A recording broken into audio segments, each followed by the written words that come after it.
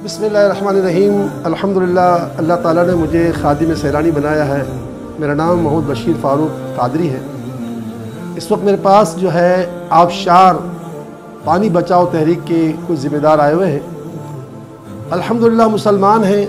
हमारे पास अल्लाह की किताब रसूल पाक सल्लल्लाहु अलैहि की आदिस करीमा दोनों मौजूद हैं। और दोनों में अल्लाह ताला ने इसराफ से हमें बचने का जो है, वो पैगाम दिया, बल्कि यहाँ तक फरमा दिया कि इसराफ करने वाला शैतान का भाई है। और इसराफ के बारे में हम जाने कि इसराफ कहाँ होता है। यहाँ तक कि इबादत में भी इसराफ हो जाता है।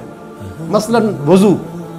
अगर हम मस्जिद में वज़ू कर रहे होते हैं तो देखते हैं कि हम आते हैं, जैसे आते हैं, अभी हमने आके नल खोला, फिर अपने आस्ते ऊपर कर रहे होते हैं। और धड़ से पानी जा रहा होता है। इसी तरह मसा कर रहे होते हैं तो नल खुला होता है, मसा कर रहे तो धड़ से पानी जा रहा होता है। और यही पैसा पानी अगर हम घर पर ख़रीद कर इस्तेमाल कर रहे हों या हमने हमारी मोटर चल रही हो तो हम बहुत एहतियात करते हैं। कितना बड़ा फ़र्क है हमारी सोचों का। याद रखिए, जिस नबी का कलमा हम पढ़ रहे हैं, जिन्होंने हमें नमाज़ पढ़वाई है, वो क्या फरमाते हैं? फरमाते हैं कि अगर तुम जारी नहर पर वज़ू कर रहे हो, तब भी पानी के इसराफ से बचो। हालाँकि जारी नहर पर पानी वज़ू करने के बाद दोबारा नहर चला जाता है। मगर आपको मुझे, हमारे नबी ने यह पैगाम दिया कि इसराफ से बचो, ये शैतान लोगों का काम है।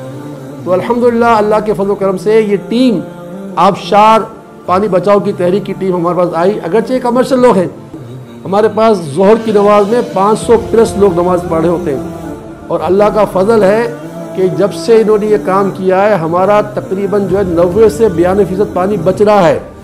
यानी 92 परसेंट कमोबेश पानी बच जाता है। कितना बड़ा फ़र्क है? मोटर कम चलती है, बिजली का बिल हर रोज़ बढ़ता चला जा रहा है। तो मैं चाहूँगा कि पूरे पाकिस्तान की हर मस्जिद नोज़ल लगवाए और पानी की बचत करे। अल्लाह आपको मदीना दिखाए। मदीने पाक में मस्जिद नबी के पास कम अज़ कम लाख आदमी के वज़ू खाना बना हुआ, लाख आदमी के आसपास। मगर हर नल का हाल ये है कि वह नोज़ल लगा हुआ है, वहाँ पानी बड़ी थोड़ी मकदार में निकल रहा होता है। तो जब मदीने पाक में भी ये हो चुका है और पाकिस्तान क्यों ना हो? और पाकिस्तान का तो ये हाल हो चुका है कि पाकिस्तान में ऐसे भी इलाके जहाँ एक हज़ार फिट तक पानी नहीं है। एक हज़ार फिट तक। तो अगर हमने इसका ख्याल नहीं किया, और जो मस्जिद की कमेटियाँ हैं, उनसे दरख्वास्त करता हूँ, अगर थोड़ा बहुत खर्च करना पड़ जाए, नोजल पर तो कर लें। हर महीने का बिल बचेगा, और अक्सर पानी नहीं होता तो फिर आपको वाटर टैंकर मंगवाने पड़ते हैं।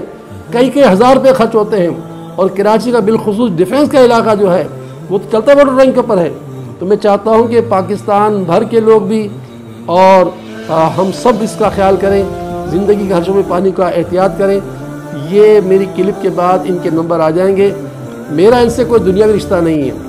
मेरा काम सिर्फ़ सवाब की नीयत से आपको पैगाम देना था। मेरी कोई इस पर कमीशन नहीं है। मेरा काम सवाब था मैंने पहुँचा दिया। आप इसे रबता करें। अल्लाह ने चाह तो इन ताला आपको स्वाब मिलेगा। आबशार की इस टीम का अपने इदारे की तरफ़ से भी, अपनी ज़ात की तरफ़ से शुक्रिया अदा करता हूँ कि इन्होंने हमारे साथ ताउन किया। मैं दुआ गो कि अल्लाह ताला इनकी इस तहरीक को कामयाब करें और मुल्क के हालात पर ख़ास अल्लाह की रहमतों हो। आमीन। या रब्बल आलमीन।